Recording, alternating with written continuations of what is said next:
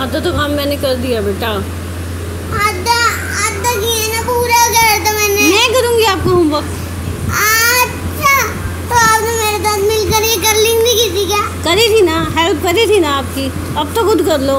एक बार की थी ना दो बार तो मैंने वो भी किया खुद। ये देखो मैंने ये अरे अब तो मुझे एक मिनट आपने मुझे। मैंने ये भी खुद किया और ये भी पूरा ये लिखने का खुद किया और आपने कर लेंगे अकेला खुद ही करूँगा। और मैंने ये लास्ट वाला सबसे स्टार्टिंग वाला पेज भी अकेला किया मैंने। अकेला किया तो होमवर्क किसका है? ये मेरा है क्या आपका है?